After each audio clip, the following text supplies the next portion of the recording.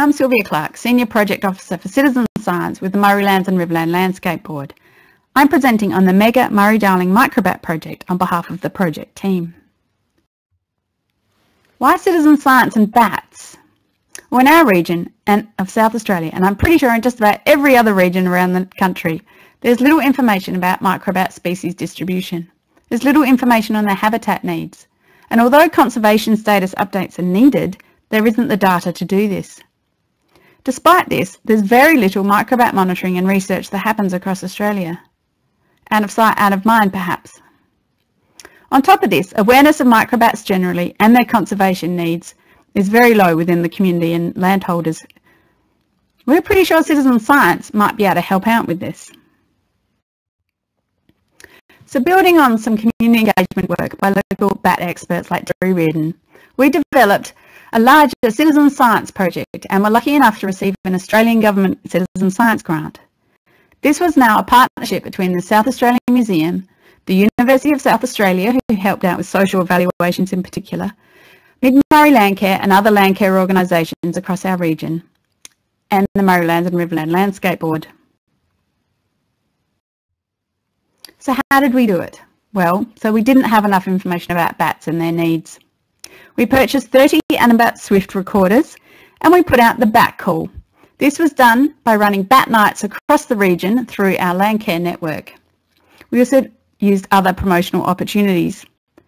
Through this we engaged hundreds of people and they put up Anabat recorders on their properties. They also provided us with some habitat information through a BioCollect app or a paper datasheet if they preferred and provide us with a photo of their site. From the Anabat Swift recordings, we could look at the sonograms and work out which species were present. The landholders were then provided with a species list as well as some information on how to improve bat habitat on their properties. So how did we go in terms of data collection? Well, through the two summers that this project ran, we received over 3,000 new bat records. And this is more than all of the records combined since the year 1890. We also got a really good spread across the region, and there's no way this could have been done without citizen scientists. In terms of the habitats of the highest number of species, we found these were those tall forests and also the River Murray corridors. But even urban backyards and farmland had an average of four bat species, which was really nice that everyone who participated was able to have a bat species list for their property. We looked at individual species distributions as well, and this is just one example. This is the Myotis fishing bat. It's an endangered species in South Australia that was previously only known from two sites on the river. Through someone travelling with a houseboat down the river and recording each night as they went, we picked up four new locations for this species. The social evaluation revealed that people really enjoy being part of this project, particularly families. We also found that within the two years of the project, people were already making changes to their land management. For example, installing bat boxes, planting new trees and reducing their insecticide use.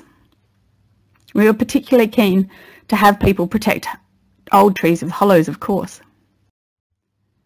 We also spread the message. We wanted this project to go further than our region. We produced a handbook with all the templates and instructions for how to run the project. This has been picked up by the Mallee CMA in Victoria, also a similar project in New Zealand, and there's a back project in Fiji as well. We produced a community report as well as a technical report that went to the Department of Environment and Water for their conservation status updates and also to the Murray-Darling Basin Authority. And hot off the press, we have a publication in the Australian Journal of Zoology, and all of these are available on our website. This project has also gone on to inspire more people within South Australia to do bat surveys as well. So I'd just like to say thank you and in particular to the Australian Government for supporting this project through their grant.